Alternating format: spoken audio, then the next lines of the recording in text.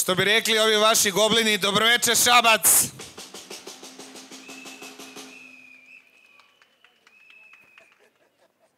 Nema veće ravnice u Srbiji od Mačve. Ona se proteže od Mišara do Drine i od najvišeg vrha Cera planine Vidojevice do Save. To je morao da nauči svaki student Fakulteta dramskih umetnosti u Beogradu, a verujem i na drugim akademijama.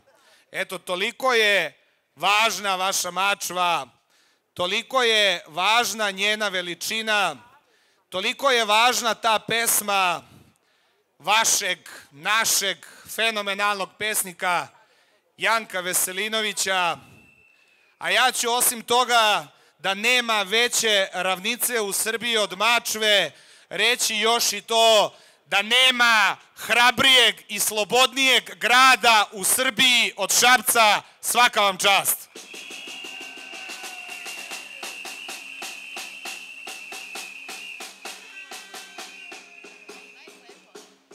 Ne znam kako, ali uspeli ste nekako da se kao jedan jedini grad, dakle samo jedan jedini grad i još par hrabrih opština u Srbiji, oduprete tom virusu koji nas je napao, a koji se zove AVSNS1, od koga smo, vidim, svi ove zime nekako kašljali, kijali, hvatala nas je temperatura, ali bez obzira i na to stanje tog virusa, izlazili smo na sneg, na kišu, na vetar, na Božić, na jednu novu godinu, na drugu novu godinu, na sretenje, na sve druge praznike i izlazit ćemo do onog dana dok taj virus ne iščezne iz Srbije da se više nikad ovde ne vrati.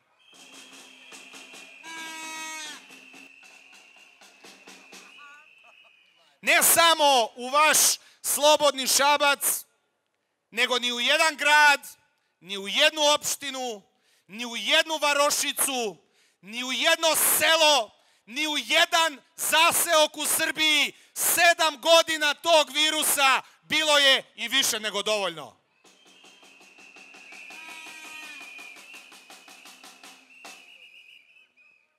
Pitaju me neki prijatelji kad sam im rekao da dolazim večeras ovde, a kako je to moguće da baš u Šapcu jedino ne vlada SNS?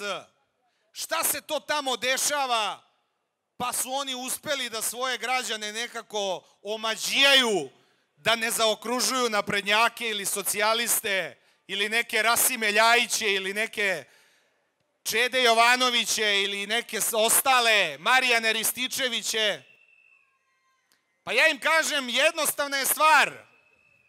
Oni recimo ljudi na čelu futbalskog kluba imaju Ivicu kralja, a ne nekog lokalnog mafijaša.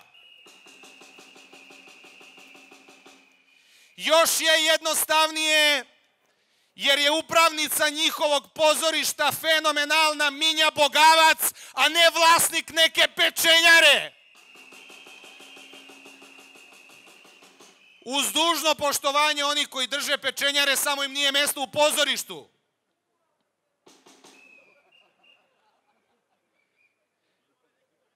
Razloga je za to i ima i među njihovim tim sada već čuvenim referendumima.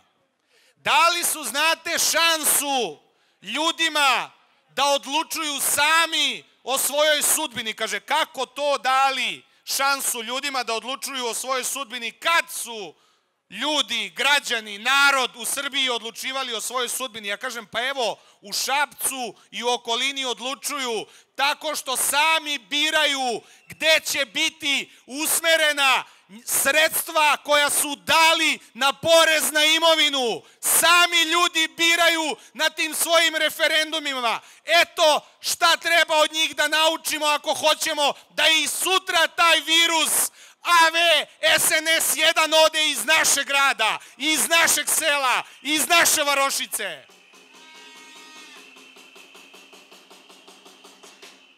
Zato što imaju pristojnog, obrazovanog, kulturnog gradonačelnika, a ne neke jutke, ne neke Simonoviće, ne neke Bulatoviće, ne neke Vesiće, kojih je puna Srbija na svakom koraku. Jutros su nam saopštili da gospodin iz Grodske optužen inače za pokušaj ubistva mog kolege gospodina Jovanovića i dalje predsednik opštine Grodska, a da ovaj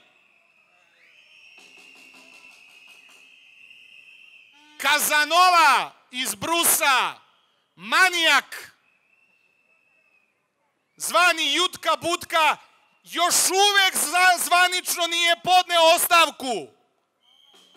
Pa ljudi, da li se oni sa nama zezaju?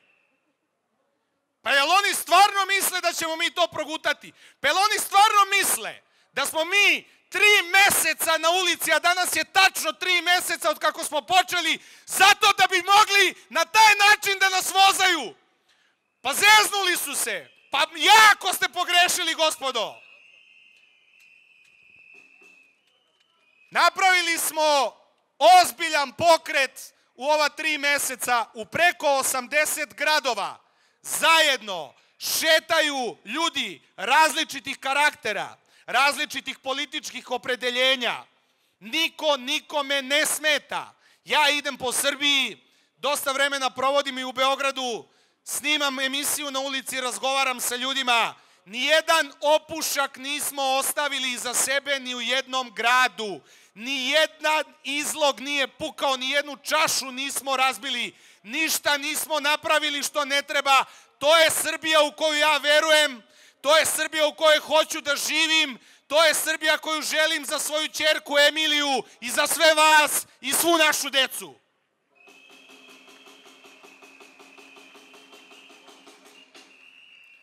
Ali moram da priznam da sam jutros došao i do još jednog zaključka, a to je da mi takvi kakvi smo, kako nas je nazvala ona devojka sa studija B što misli da je novinarka linč, silovanje, nasilje,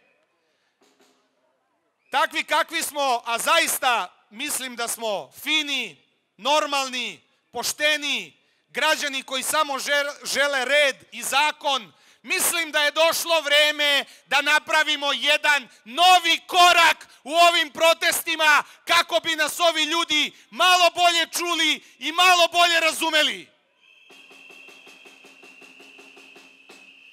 Mislim da je posle tri meseca krajnje vreme da svi zajedno svedemo račun, da napravimo nekoliko ključnih zahteva koje ćemo isporučiti Aleksandru Vučiću, jer niko drugi osim njega ništa i ne odlučuje u ovoj zemlji, i dati mu rok, tačan datum, do kad te uslove mora da nam ispuni, inače u protivnom dobit će onih 5 miliona koje je zvao u Beograd.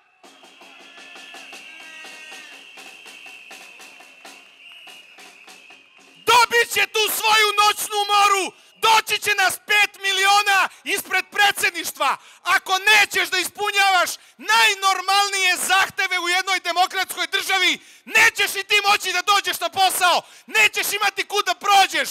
Doći ćemo i sesti ispred predsedništva na prag.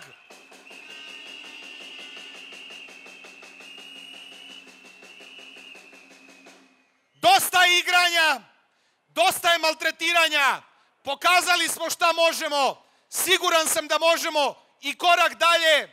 Pozivam vas da u što većem broju se skupljate i da u narednih nekoliko nedelja ljudi koji predstavljaju opoziciju sednu za sto, smisle te zahteve jednostavne, kratke, jasne i da prezentuju.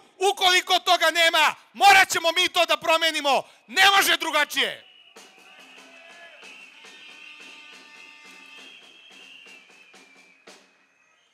Hvala vam što ste me pozvali.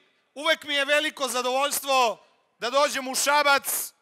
Ovde imam puno prijatelja i večeras se divno osjećam. Hvala vam što se borite i što držite slobodu za sve ostale gradove i sva ostala mesta. Živeo za uvek večni Šabac. Živela slobodna Srbija uskoro!